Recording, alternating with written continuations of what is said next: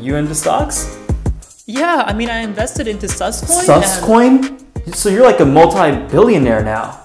Trillionaire, actually. Wait, I want to send my soulmate money right now. There we go. Huh?